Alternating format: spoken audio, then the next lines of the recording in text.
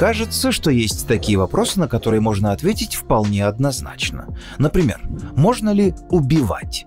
Всем очевидно, что нельзя. Но некоторые философы с этим не согласятся. Они спросят, а что если на вас напали? и вам нужно защищаться.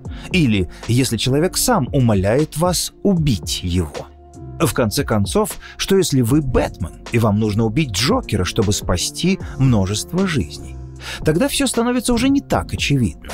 Давайте разберемся, бывают ли случаи, когда убийство можно оправдать. А как вам такая моральная дилемма? Подписаться на канал или поставить лайк под этим видео? Хорошо, что можно не выбирать, а сделать и то, и другое. А еще написать комментарий и рассказать о нас друзьям.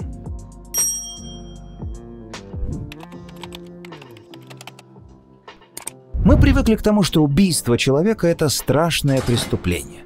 Но так было не всегда. В каких-то обществах это даже поощрялось. Например, во времена Чингисхана мужественность воина проявлялась в том, скольких врагов он убил. С того момента, как человек научился создавать орудия труда, любое из них могло стать орудием убийства. Но почему люди стали убивать себе подобных? Зоопсихолог Конрад Лоренс объясняет, что у хищников, к которым люди не относятся, есть инстинкт убийцы.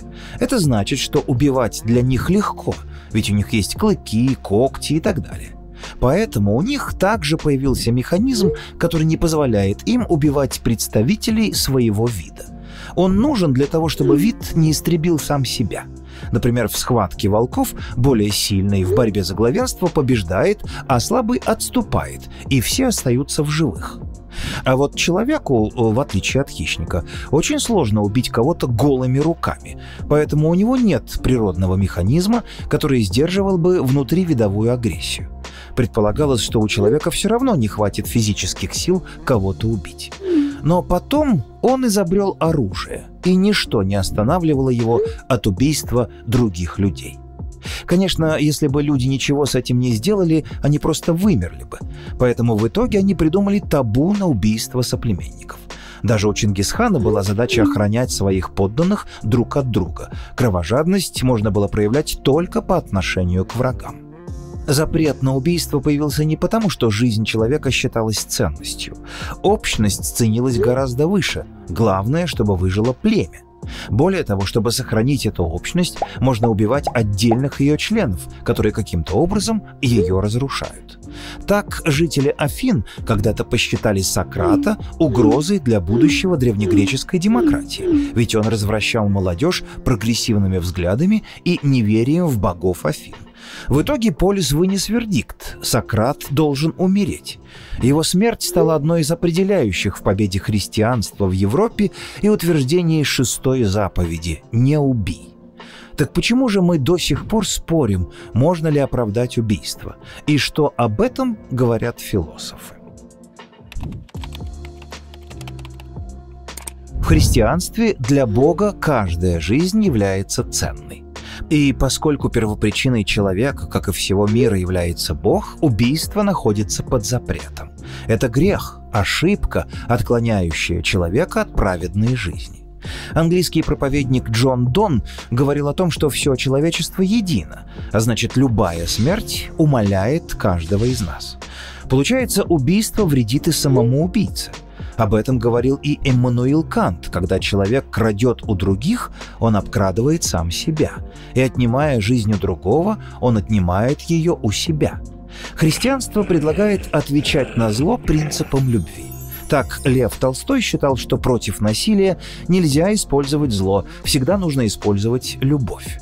В Нагорной проповеди сказано «Не протився злому, но кто ударит тебя в правую щеку твою, обрати к нему и другую». Но что будет, если жить по этому принципу? Разве зло в таком случае не победит? А что вообще такое зло? Зло, оно относится к миру людей, как правило, потому что зло в том числе носит ситуативный характер. Зло может быть оценено только человеком, и человек воспринимает нечто как злое. Кто нарушает мир, тот ввергает в хаос микрокосм, социум, макрокосм, все. С философом Томасом Нагелем произошел следующий случай. Что произошло с Томасом Нагелем и что он понял о зле после этого. Слушайте фоном Саммари 10 главных вопросов о философии. Станьте своего рода философом и сделайте так, чтобы последнее слово в любом споре оставалось за вами. Активируйте промокод TUBE30 и получите 30 дней бесплатного доступа к этому и сотням других Саммари. Ссылка в описании. Многие философы не согласны с тем, что никакое насилие нельзя оправдать. Например, Готфрид Лейбниц смотрел на проблему убийства практично. Он говорил, что мы живем в лучшем из возможных миров, а убийца нарушает его гармонию. Поэтому для благого ума нет ничего приятнее, чем возмездие. По его мнению, убийство убийцы восстанавливает баланс. Кант в вопросе преступлений придерживался того же мнения. Если человек убил другого, то он сам должен умереть. Это единственный путь, на котором можно сохранить общество, в основе которого лежит закон. Но все ли убийцы заслуживают смерти? На этот вопрос хочется сразу ответить «да». Но что будет, если добавить дополнительные условия? Допустим, убив человека, можно спасти множество других людей. Что делать в таком случае? С этой дилеммой постоянно сталкивается Бэтмен. Представьте, что вы можете убить Джокера, одного единственного человека. Причем, если вы этого не сделаете, он убьет еще сотни людей. Да, если убить убийцу, вы сами станете убийцей, но множество людей останутся в живых. Эта моральная дилемма напоминает проблему вагонетки, которую сформулировала Филиппа Фуд. Вагонетка едет по рельсам, на которых лежат пятеро человек. Вы можете перенаправить ее на другую колею, где лежит один человек. Можно ли оправдать убийство одного человека спасением пяти жизней?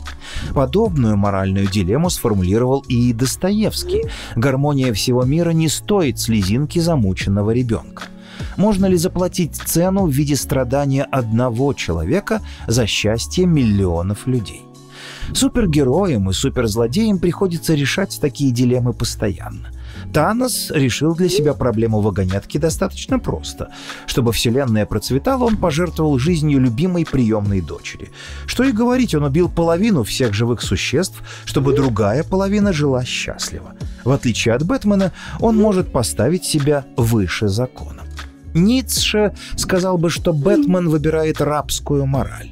Он следует законам, которые придумал кто-то другой, вместо того, чтобы сделать мир добрее и лучше.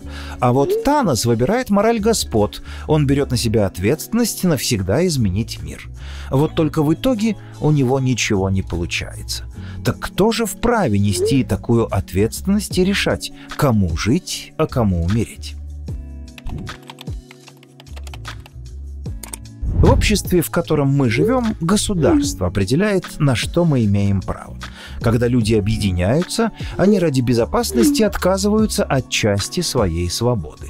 Взамен они получают от своего племени, своей культуры, своего государства защиту.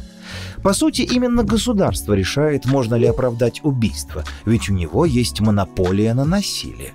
Оно может запретить или разрешить эвтаназию. Оно также через суд решает, превысили ли вы самооборону, когда кто-то на вас напал. Вопросы возмездия оно тоже берет на себя. И если вы столкнулись с проблемой вагонетки в реальной жизни, государство будет думать, был ли ваш поступок убийством, если вы перенаправили вагонетку. А если вы решили не трогать рычаг, это могут квалифицировать как преступное бездействие. В тех странах, где разрешена смертная казнь, государство по сути и вовсе имеет право на убийство. Казнь не запрещена международным правом, поэтому до сих пор существует более чем в 80 странах по всему миру. Можно сказать, что это единственное условно законное убийство. Смертная казнь – это самое суровое наказание, которое можно представить, самое тяжелое и по-настоящему неотвратимое. Но может ли оно быть справедливым? Почему вообще кто-то имеет право выносить другому смертный приговор? Многие считают, что убийство неприемлемо, но при этом поддерживают смертную казнь. Причем иногда позиция этих людей основывается не только на эмоциях, но и на практичности. Людям не хочется, чтобы на их налоги в тюрьмах жили убийцы. Но есть несколько важных аргументов против смертной казни. Прежде всего, конечно, нужно сказать об ошибках следствия и репрессиях, когда государство использует смертную казнь, чтобы просто убивать неугодных. Еще одна проблема – институт смертной казни, о котором говорил Андрей Сахаров. Если кому-то выносят смертный приговор, кто-то должен привести его в исполнение. Кто способен делать такую работу и как она сказывается на психике исполнителей? В конце концов, казнь вносит в законодательство странное противоречие. Убивать запрещено, поэтому мы убьем убийцу. Мы не умеем воскрешать людей. Так должны ли мы в таком случае определять, кто достоин жизни, а кто нет? А что вы об этом думаете? Можно ли оправдать убийство или оно всегда неприемлемо? Делитесь в комментариях. Научитесь критически мыслить и станьте по-настоящему эрудированным, разносторонне развитым человеком. В этом вам поможет наш профессиональный курс «Философ». Это концентрированные знания, равные по объему университетской программе. Вы разберетесь не только в истории философии, но и в ее разделах. Это логика, этика, эстетика и многое другое. После сдачи экзамена вы получите госдиплом о профессиональной переподготовке, который официально подтвердит ваши знания. А специальный промокод «Профи» для зрителей нашего Ютуба даст вам скидку 25%. Переходите по ссылке в описании, чтобы узнать подробности.